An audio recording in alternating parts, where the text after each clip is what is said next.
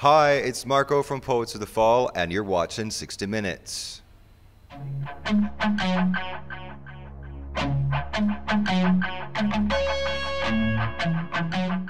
Hi, Marko. Hello. How are you doing? I'm all right. I'm all right.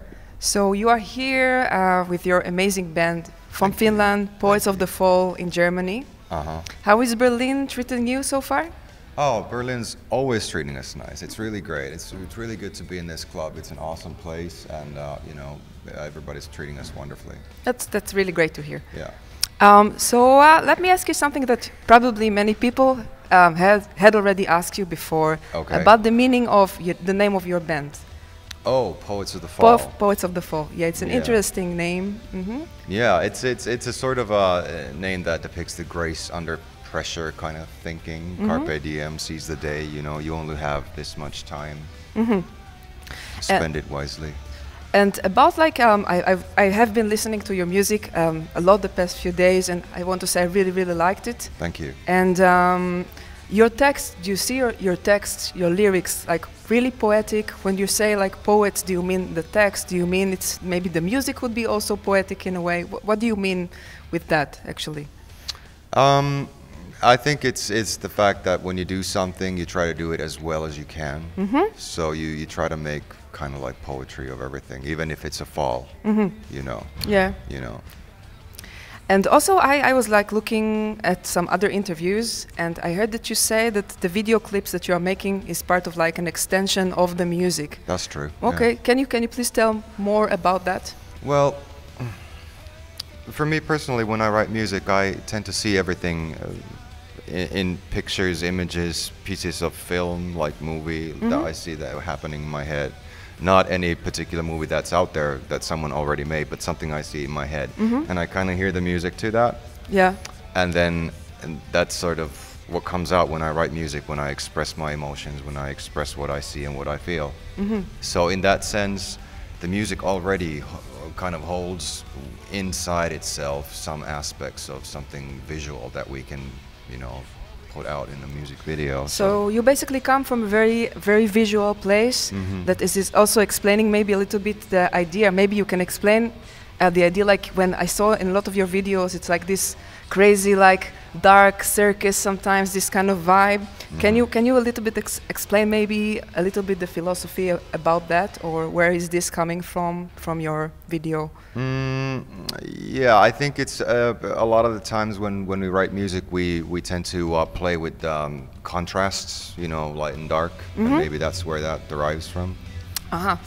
And uh, when you write music, for example, how, how is it happening? Are you, for example, sit in your house and come up with a riff, then you go to the guitar player or you go to the other members of the band and you say, okay, now let's let's develop that, or you are coming from with like more fixed idea. And uh, how do you write your songs basically? How is it happening? Mm, well, there's no one single particular way that we do it. It's usually something that plays in your head, or you have a feeling. You just go to the piano and you start playing, and you kind of find what it is. What is it that you're trying to say? What What do you need to convey? What you want to get out of your system? And the same thing goes when um, when I write lyrics. It's um, you know I, I listen to the music and, and I think what I've you know try to find the gist of what I've been thinking when I've written the music or and usually when we have like um, a part of a song or a full song that's ready, like if I write one song, it's completely like okay here it's from start to finish, and I I go to the guitarist, I go to our keyboard player like mm-hmm. Olli and Markus and and then we start to play with it and and you know they feel that maybe this bit could be a bit different that could be changed and they change those things around and we talk and and play and you know fiddle with it more until the final product is like there you know so mm-hmm. yeah. And do you have like, uh, let's say, like a concept for the album, or it is, is it just like you're collecting the songs, and then you kind of a period of time you put all the songs together, or sometimes you say, okay, this album we would like to deal with a specific topic more, or something like this. Is, yeah is it's this always, happening too? yeah it's always a concept you know to start with something I mean, we have uh, a lot of songs that are half finished, and some are even finished, and they're like kind of kind of waiting to be published, maybe at some point or put on an album somewhere. But when we start an album, we have a concept for it, and, and then we look for the specific songs that fit the bill, and then we take those, and then we write some more for that album, you know, because when you get the idea of the concept, you, you imme- immediately you start to get more ideas of more songs. You know? Uh-huh. Yeah. so. And how is what is like your um, personal connection to the music? How how is it started for you personally? Like when I was a child. Uh Kind huh. of. Like when? What Oh, age? I don't know. I, I was born- I, was three years old when I performed for the first time. you know. Performed. Yeah. Where where did it happen? a, a family reunion. Uh-huh. Yeah, so that was like a, a small scale kind of venue, but it was fun. I didn't know anything about music. I just seen some people singing, and Uh-huh. I just uh, grabbed this tool from the floor that looked like a microphone, and I sang in it. And, and uh, that was how it uh, started. You know, I I forced the people to applaud when I ended my you know impromptu song and everything. So you know, it was kind of funny That's that nice. way. Yeah. But that's kind of where it started. I've been singing ever since I was three years old. Mm-hmm. Yeah. and have you been like um, collaborating with more musical projects before Poets of the Fall? Did you do other things before? Yeah, Um, I, I played in in uh, quite a few bands before that, you know, and um, anything from that started like at high school and stuff, and, and we, we played stuff, and uh, uh, I I did some musical stuff, some theater and everything, but basically, um, Po- Poets of the Fall was the first thing, thing that actually like you know soared, kind of, you Mm-hmm. know. And like what, for what I read, like your major breakthrough as a band was from a video game that you composed a song for. Yeah, yeah. yeah. Did you think that this would happen, something like that, or you just composed it and and it was like okay, something? Yeah, we didn't kind of expect it to be that big. It was more like, you know, let's try something new. Mm-hmm. Uh-huh. Let's try to do something that hasn't really been done that many times before or at all before that, uh, Yeah. you know. And uh, and we kind of composed a song and we were like, yeah, we're happy with it. And everybody else was happy with it. So, okay, let's put it in the game and see what happens. Mm-hmm. But we didn't really expect that it, it was like overnight all over the planet kind of thing, you know. Wow. So, yeah. That that's a good feeling. Yeah, that it must is. be a good feeling. It- did, it did it yeah, change it your life completely, like from being like anonymous, then you go on the street and everybody recognized you? How how much did it change your life from this point? Um, well, I would say that I think maybe at least at that point, our kind of it became a full day job for us to to write the music and do mm-hmm. that because we understood that maybe there is something to this and let's just like give it all we got, you know. And um, but yeah, people did start to recognize us about a year later when our album came out, you know, and, and our pictures were everywhere, you know, and mm-hmm. that's that's when people started to stop you on the street and ask for autographs, you know. Mm-hmm. So, but but luckily, you know, in in Finland especially, you get to be quite, you know, by yourself, and people leave you alone, even if they, you know, recognize you, and, and sometimes you go into a space and you people are go like like you know you can see that they recognize you but they kind of let you be. So that's uh, that's real nice That's really cool. You know, Finland sounds like a really fascinating place for me. I've never been. Uh. Okay. soon you should you should try it I- out I will. especially during the summer it's really lovely I will. And like, do you feel like that Finland? You know, I know Finland has a really huge metal scene, Oh, yeah. and all of the big and really biggest and some of the most amazing singers and bands comes from Finland, actually, Mm-hmm. from this kind of genre. And do you feel like Finland is like an influence also? This country, the music that is coming from Finland is somehow influencing you differently, or is it in your songs, or I don't know, maybe you it's know Mhm. i don't think so. I think it's just this is uh, something that i have to and we have to like as a band as a group to do for ourselves. So um, we don't really listen to so much what other people are doing and we don't try to emulate that. We just kind of because we're, we're so into what we're doing in a, in a way that there's really no time kind of to go and see what everybody else is doing you just sort of hear about it and Yeah. you know about it but you're not like oh let's let's see what they've done and, and see what Now we we can do it better. No. yeah no it's just you just do your thing because it's it's a form of self-expression you know mm-hmm. So, do you have like but uh, musical? So you're like trying not to get influence from anybody, or do you have like Well, an artist that you like Uh, more? there are artists that I like Can- yeah yeah Like who, who is like your? like I, I was um, into metal like really really like in the 80s I was really into metal and, and I was into grunge and all those bands and then I was into like Prince and Tori Amos is huge She's Um, also one of my yeah she's favorite. one of my favorites and you Mine know too. Yeah. bands like that, artists Mm-hmm. like that. Yeah, you know, and influences do come from ev- everywhere. You know, you can just be like be sitting underneath a, a metro bridge, like a railway bridge, and Mm-hmm. hear the sounds and go like, "Oh wow, yeah." Now you have to go and write something about that. Yes. So it's not always a musical influence. It can be literature. It could be a movie. It can be everyday life, people on the street, whatever. yeah. You know. Yeah, that's true. And uh, your new album, Clearview, is Mm-hmm. the name of the album. Can you tell us a little bit about it? Um, like how, how was the process of creating it? How is it different from you from the other albums? Yeah, that was painful.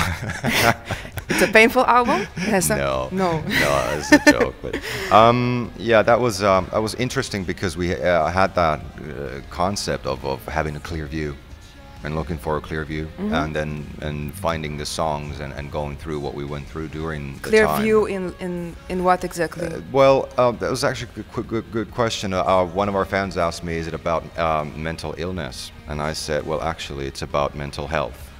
It's about the clarity. You know, I mean, if your mind is very full of thoughts, we all think constantly, all Yeah. the time, all Yeah. through the day when we're awake. And most of the time, what we end up doing is messing ourselves up with our thoughts. You know, and then uh, at some point, uh, when you when your mind calms down, if you just let it, you know, if you don't if you don't like grab onto the thoughts that go on, you just let them go. They come and they go, but you don't pay that much attention anymore to that. You start seeing and hearing what's behind there and what's your intuition, your inner wisdom telling you, and then you get this clear view and and that's what it's all about. And then it starts from going like drama for life the first song when you're like really like you know there's a madman inside you that's like roiling and making you forcing you to do crazy stuff. And then you start slowly during the song seeing that okay there's there's maybe a way out of this. I might not have to be sentenced to drama for life. And then you evolve and you progress through the uh, the album and to other songs until you kind of come to see that there's a wisdom inside you that you may follow if you if you just listen to it you know?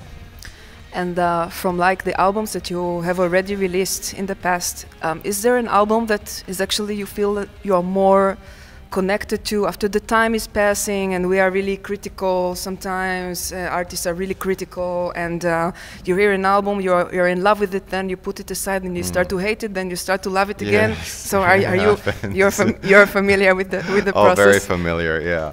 I mean seriously it took me like um, after Carnival of Rust, our second album came out. I Amazing was, album, uh, I have to say. Thank I you. really, really loved I it. I couldn't listen Mm-hmm. to it for four years. And it's like I can't listen, but I was singing the songs the whole time, you know. But uh, yeah, I. And how is it feeling? Sorry for interrupting, way, but it, no- how no is it feeling when you start to hate? For example, you start to hate this album, and the fans in the audience are asking you to sing songs that you cannot really sing anymore, or you feel like you are not there emotionally anymore. How, how do you do that when you go on stage? How do you do that? Uh, that's interesting because I, I understand that, that it's different for them and it's different for me. And it's okay to sing it, but I just can't listen to it. And your brain actually works differently when you're listening to something and when you're actually singing it or playing it. So the singing part and that all, and then sort of like interacting and being with, with your audience, uh, that's that works fine. There's no problem there. But just like putting it like in my car CD player, kind of, and listening to it, go like, oh, I made a mistake there. Oh my God, I should have done that better. Oh, it's, it's you know like all those things. Or you hear yourself on the radio, then you call them screaming, "Stop that song!" yeah, yeah. It, No. it's, it's really weird sometimes when you hear yourself on the radio. I mean, you, you, you kind of get used to it, but still, when it comes on, it's like, well, nowadays, sometimes, oh, it's lift, yeah. But it used to be like, oh, it's uh, change the channel. it was kind of like that, you know. And then you're in the other channel. yeah, Change it's, that. it's, it was one time when uh, uh, I, I think it was uh, Dreaming Wide Awake came out, and the video came out, and it was on every uh, channel, which was great. But at the same time, it's really weird because you're like, oh, it's it's it's our channel, it's our song. Let's just change the channel, and the same song started from the se- from the next channel. You're like, oh my god, well this is kind of cool, but you know, You're attacked by your own self. yeah, in a Yeah. way, yeah, yeah. Yeah. So Um, about th- go back a little bit for Clearview, your new album. Mm-hmm. Um, what is this sculpture? This horse? Um, Yeah, Clearview is a dark horse. Is is Mhm, this the the, one? horse. Yeah, it's it's the one one thing that surprises you when it moves. It's it's the most clever strategical mover mover on the whole uh, game board of chess, Mm-hmm. kind of. And it's very intuitive, and it's the intuition and the element of surprise go that make you go like, oh my god, I've known this all along why didn't I ever think of this? You know, it's like that, you know. Yeah. So, so that's where it's it like a Trojan from. horse, maybe. Could be. A bit. Yeah. yeah. It's it's a very good mm -hmm. interpretation right there. Yeah. Yeah. And you're touring now with the album. Have you been into many places uh, with this with this yeah, album? we've been to uh, several several different countries and, and many many cities. Uh, I think we've been to uh, well, uh, 30, five at least or uh -huh. something, different cities already, and yeah. You know, I'm originally from Israel, so okay. any chance we will see you in Israel? Oh, we had some some people coming from Tel Aviv actually to really? one of the shows, yeah, uh -huh. and, and they were asking the same, and I was like, you know, we have to get over there because I, I do know some people from Israel as well. I've uh, uh I've got friends there and um, you know, and they've been asking the same thing. So maybe one day we So should. maybe you should. Yeah, maybe, we you should. Yeah, I'll have to talk to my uh, promoters and managers and everything. So yeah, Yeah. yeah. If it was up to me, then sure. But you know, I can't always get to decide everything. You know, so. And um, tonight, what we are, what are we expecting from the concert? Like songs from all the albums, or Pretty much. Pretty yeah, much, Yeah. yeah? Well, we, usually try to do like a selection of songs from uh, from like uh, all these goalies. You do the hits and you do the new music. You do this, you know, some of the surprising stuff that you don't hear that often. You know, Mm-hmm. so. Uh, and it's it's always uh, kind of um, intense and hectic, and it's very close up and very warm and, and Mm-hmm. you know alive. You know, so it's it's really it's always fun. It's going to be so much fun tonight too. I'm really looking forward. Me really looking forward, and it it has been a real pleasure to interviewing you. Thank you. Marko, thank you very much from Poets of the Fall, and I wish you a great evening, great success here in Berlin, and um, I'm sure it will be amazing. Very kind. Thank you so much. Thank you.